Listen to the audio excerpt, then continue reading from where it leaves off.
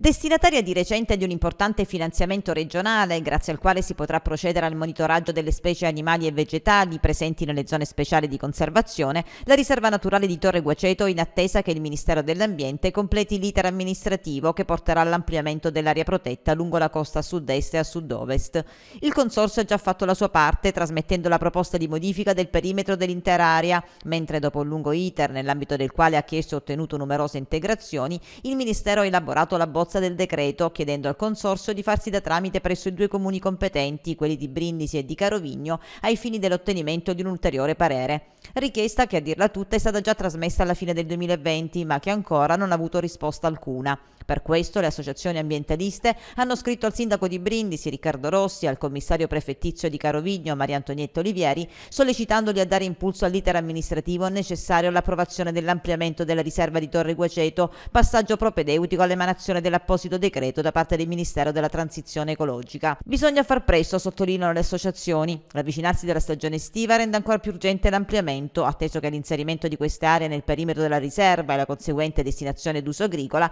impedirà nel futuro speculazioni su queste aree costiere che verranno protette attraverso lo strumento del regolamento della riserva.